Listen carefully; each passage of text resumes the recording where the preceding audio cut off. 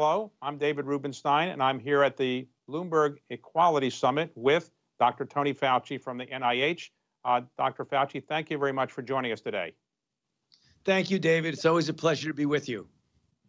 So I want to just ask a couple upfront questions about the uh, coronavirus situation. Then we'll get into some equality issues if we can. So today, um, the, the Department of Health and Human Services says that its plan is to have everybody vaccinated by the end of the first quarter of 2021. Uh, in your view, is that realistic? You know, that is possible, David, but to get everyone vaccinated, I think logistically, that is going to be tough. I mean, there will be tens of millions of doses available by the end of the year and in the first quarter. As you get to the end of the first quarter, there'll be hundreds of millions of doses whether or not you can get injection into everyone. And remember, it depends on what the vaccine is. If it's the Moderna vaccine, it's a prime followed by a boost 28 days later. So I think we need to be careful. It will be aspirational to do that, David, but I think it's more towards the middle to the end of the year that you could get people vaccinated. And are you reasonably confident that by the end of this year, this calendar year, uh, one, more, one, two, or three vaccines will have been approved by the FDA?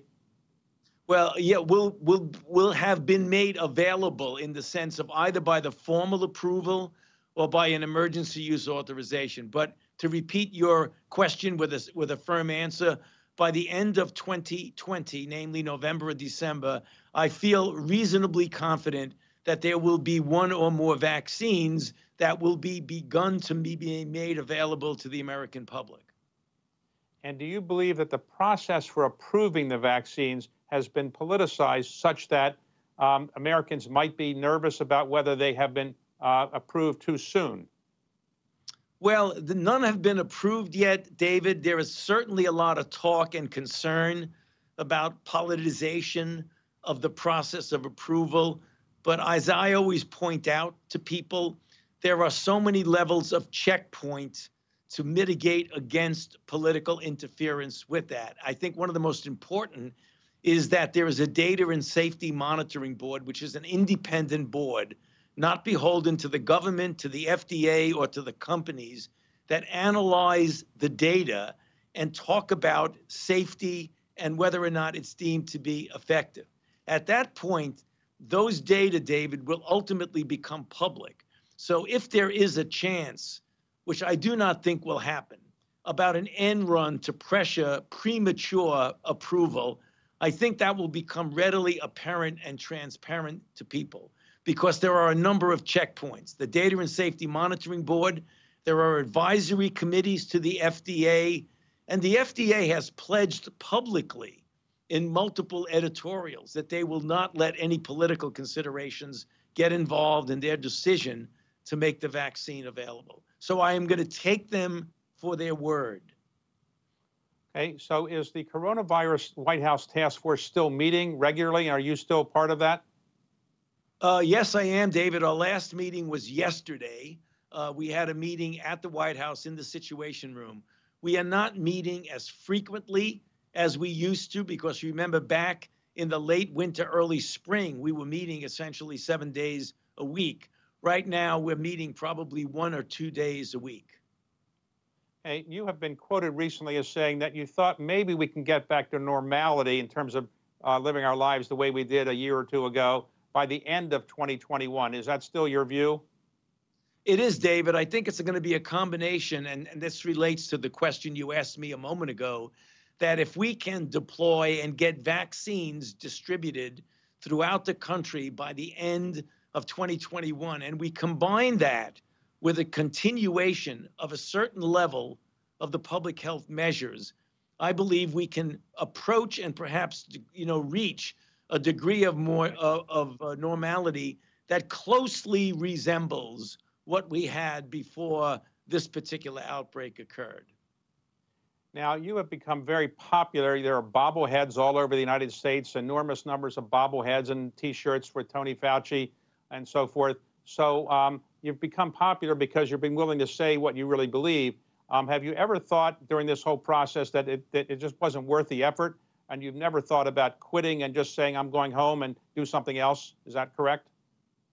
Well, th- that is absolutely correct, David. This is such an important issue. I mean, I'm a physician, a scientist, and a public health person. This is what I do. I mean, this this is my my career. I mean, the idea about walking away in any way from the most important and impactful uh, outbreak in 102 years. I mean, since the 1918 pandemic no matter what the stress or strain is, the thought has never entered my mind to abandon this or walk away from it. It's just too much of a challenge, not only to the United States, but to the entire world. Now, you've headed the Division of Infectious Diseases uh, at the NIH since 1984. So, is this the biggest challenge you've ever seen for the uh, in your career?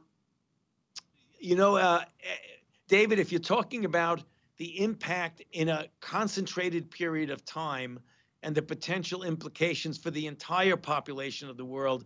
The answer to that would be yes. I think you always have to ask about HIV AIDS, which already we know now, you know, has killed, you know, tens of millions of people and continues to infect people throughout the world at a very high rate. That has been over a period now since 1981 uh, 39 years. Uh, but when you talk about the concentrated explosion of a pandemic that essentially can involve virtually anybody and everybody on the planet, the answer to your question, yes, this is the most difficult thing that we have faced in a very cons- constrained period of time. Now, one of the challenges you personally faced was you had a, a polyp on your throat and couldn't talk for a while. And that surgery has been done. Is your throat okay now? Yeah, it's back to normal. In fact, there are some people who've even texted in saying, Is that really Dr. Fauci? It certainly doesn't sound like him. This is my normal voice, but the very scratchy voice that we had, even on some interviews that I had with you, hopefully is gone forever. Good. So let's go to some equality issues. Uh, there's been concern uh, that in uh, as the virus has moved forward, the people who have been most adversely affected are often minorities. African Americans, for example, in a higher percentage than whites, are being affected by COVID-19. Why is that, and why have they died at a higher percentage than whites have? You know, that's a good question, um, David, and the answer is really quite disturbing. There's almost a double whammy on the minority populations. First, on the basis of the jobs that they, as a broad group, hold, put them out in contact on the front line with people and don't allow them, in many respects, for most of them, to be able to do the kinds of things that you and I are doing now through a computer in a safe way. So the nature of their jobs put them at a higher risk of getting infected in the first place. So they automatically start off at a disadvantage. Then, when they do get infected, they have a much higher rate of hospitalizations per 100,000 than the uh, population in general, and certainly the white population. And the reason for that, David, relates back to the decades and decades old social determinants of health. They have a much higher incidence and prevalence of diabetes, hypertension, obesity, chronic kidney disease, chronic lung disease, so that the very underlying comorbidities that predispose you to a serious outcome, such as hospitalization and death, are clearly much more prevalent in the minority populations. So let me ask you about a concern that has been expressed by the, an op ed recently in the New York Times about whether people who are minorities are being adequately represented in the COVID 19 phase three trials. What can you say about that? Well, we are trying as best as we possibly can to get equitable representation of African Americans, Latinx, and other minorities. We're doing better with the Latinx, but still, we have to do much, much better with the relative percentage of African Americans that are in the trial. It's a good reason for that, David, because when the trials ultimately get shown to be safe and effective with regard to the candidate vaccines, we want to be able to say with confidence that they are safe and effective in all demographic groups. You can make an assumption that they are, but we want to prove it by getting the equitable representation in the actual phase three trial itself. Now, there's a concern in the minority community, I believe, that when the vaccine is available, wealthy white people will get it first, and then it will trickle down, and the last people to get it will be minorities who might need it better or more than, than wealthy white people. What can you do to assure people that people of minority backgrounds will be getting this in the same fair way that it should be distributed?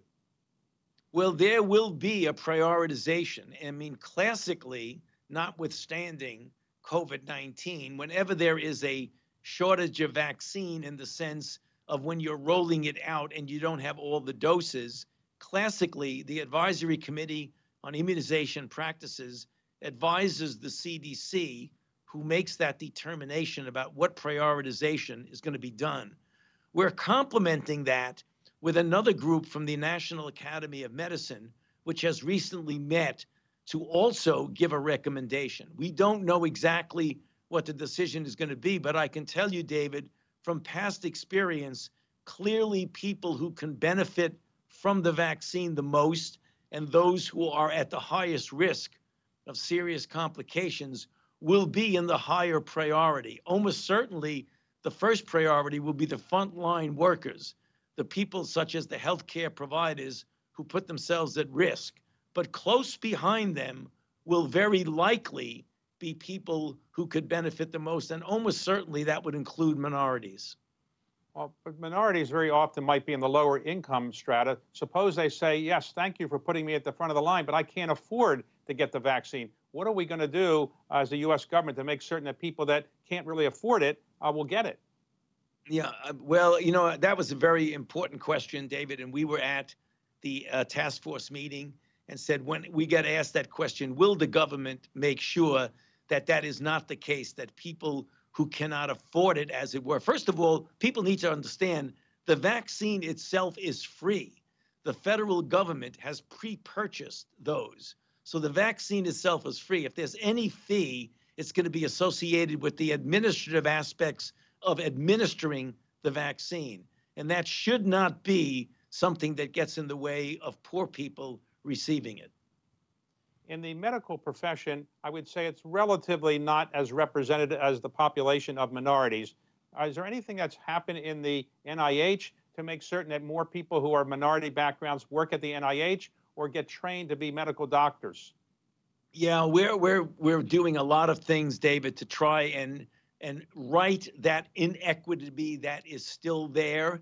We're doing much better now than we were doing a few years ago, but as an organization, and particularly uh, the NIH director, Francis Collins, and all of the Institute directors, including myself, are very seriously involved in doing whatever we can at every level. Uh, the entry level of fellows, people who are getting uh, tenured, such as lab chiefs, and even senior people who are at the leadership level.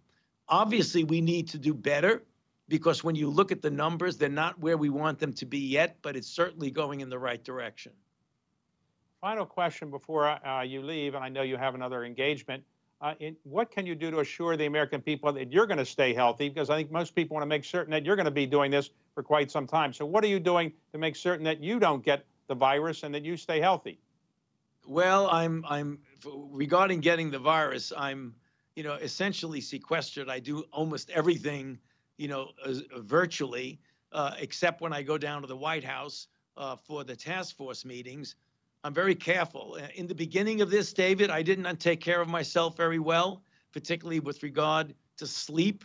But you know, I was trying to trying to work, you know, an 18 to 19 hour day, which is kind of tough. But I'm trying with the advice and the firm hand of my partner in life, my wife, who is a very wise person is making sure that I do that. So I think I'm going to be around, David. Hopefully, we will have Good. more of these interviews. Thanks very much, and thank you for what you're doing for our country. And uh, I very much appreciate your being here today. Thank you very much, Tony. Uh, anytime, David. It's always a pleasure to be with you. Anytime.